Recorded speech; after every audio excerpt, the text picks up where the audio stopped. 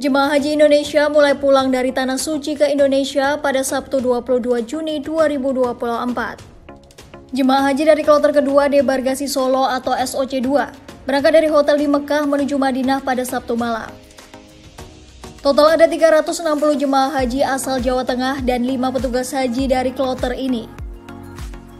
Jemaah haji kloter kedua dan ketiga Debarkasi Solo telah mendarat di Bandara Adi Sumarmo pada Minggu 23 Juni 2024 pukul 10.30 dan 10.45 waktu Indonesia Barat.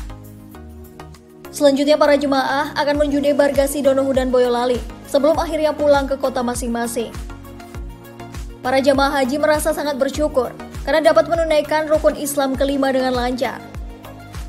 Salah satu jemaah haji bernama Sri Sumi hari ini menyatakan bahwa dirinya sangat bersyukur karena dapat berangkat haji tahun ini Alhamdulillah, saya bersyukur sekali kepada Allah SWT bahwa saya terpanggil untuk berangkat haji tahun ini dan Alhamdulillah di sana selamat, sukses, sehat, lancar, ikhlas.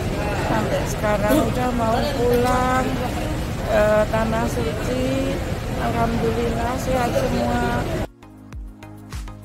Tak hanya Sri, Jemaah lain bernama Gusamorno mengungkapkan bahwa dia tidak menyangka bisa berangkat ke Tanah Suci.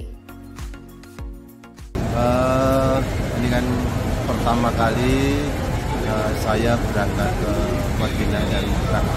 Luar biasa bagi saya tidak menyangka kalau sudah menunggu 12 tahun sampai ke Madinah dan Mekah. Saya tidak bisa menyangka sama sekali dan perasaannya tidak bisa diungkapkan dengan kata-kata yang penting luar biasa dan syukur Alhamdulillah saya beserta istri bisa memenuhi panggilan dari Allah SWT.